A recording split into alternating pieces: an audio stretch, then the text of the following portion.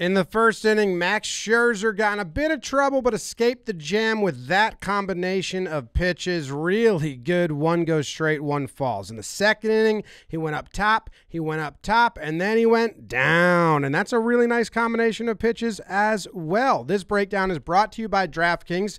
After the second inning, he walks off the mound, he goes up to the umpire, and then he's going to tell you what happened. So after the second inning, uh, you know, my hand it was a little clumpy uh, from the rosin and sweat that it was clumpy and Phil was told me to wash off so I washed it off you know I wash it with alcohol you know the alcohol for a little bit there can be sticky if in rosin it, that can happen so he was like that's too sticky you need to go back on there wash it off again and reapply uh, the rosin and so I did that, and then at the same time, he thought my glove had too much rosin on it. And I was like, okay, if that's a problem, you know, there's there's nothing going on. It, you know, he's like, you need a new glove. Like, okay.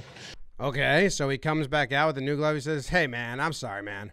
Uh, I'm just sorry. I'm just hyped up when I'm pitching." Phil Cuzzi throws his glove back at him and says, "Get after it." In the third inning, he gets a pop up and then curveball for strike one on the foul, up top for strike two, down low, freezes him for strike three. And then he's going to get JD on a little jam shot, throw to first. Alonso grabs it. Hello, ball. Pitch the third and knew I was going to get checked in the fourth. So I'd have to be an absolute idiot to do try to do anything when I'm coming back out for the fourth. I wash my hand with alcohol in front of the official. I then apply rosin and then I grab sweat. I then go back out there and Phil Cuzzi says that my hand's too sticky. This is rosin, bro. I'd tell you if it wasn't rosin. Why would I let you fucking see it? Are you shitting me? Why would I fucking. Uh, this is just rosin and sweat. Rosin and sweat. I promise. This is rosin and sweat. I promise on my fucking life that is literally rosin. It's rosin and sweat. I know. Why would I even do it? Why am I not good? Why? It's rosin. I know. It's rosin and sweat. I promise you on my life. I promise you. Danny, I know, but it's rosin. I don't know. It feels really sticky. He's like, Yeah, it's sticky. That's what it does. This is nothing. It's rosin and sweat. Don't you know what rosin and sweat does? There's no way. No, no way. No way. There's no fucking.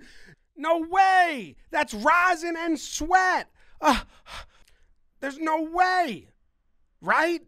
Oh, well, um, right, Buck? Right, Buck? Well, uh, it's rosin and sweat. Huh. Walks to the dugout. You feel it's, it's just rosin and sweat. Yeah, that's what I feel. Anyone else want to feel this? Hey, guys, guys, guys. Umpire Dan Bellino to pool reporter. As far as stickiness, level of stickiness, this was the stickiest that has been since I've been inspecting hands, which now goes back three seasons. Scherzer was adamant that it was just sweat and rosin. Umpire Phil Cousins said, I said this to Buck and to Max. It really doesn't matter what it is. All we know that it was far stickier than anything that we've felt certainly today and anything this year. Umpire Dan Bellino went on to say there was something likely more than rosin. You know, I wash it with alcohol.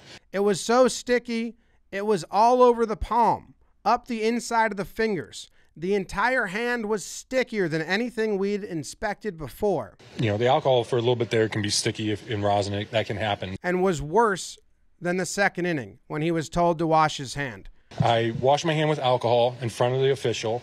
Guys, it might be that you made him wash his hands with alcohol and they got stickier because of the alcohol. I also think it's very weird that pitchers don't use the rosin bag on the mound. I don't know if they've always used rosin bags in the dugout or this is just a pitch clock thing to keep it quicker. But in the first inning, that bag on the right, which is Scherzer's, just never gets moved. Second inning never gets moved. Third, it never gets moved. So I don't know. Maybe pitchers have always been applying rosin in the dugout and not on the mound, but I never knew that. But also, seems a lot like it was the alcohol you made him wash his hands with.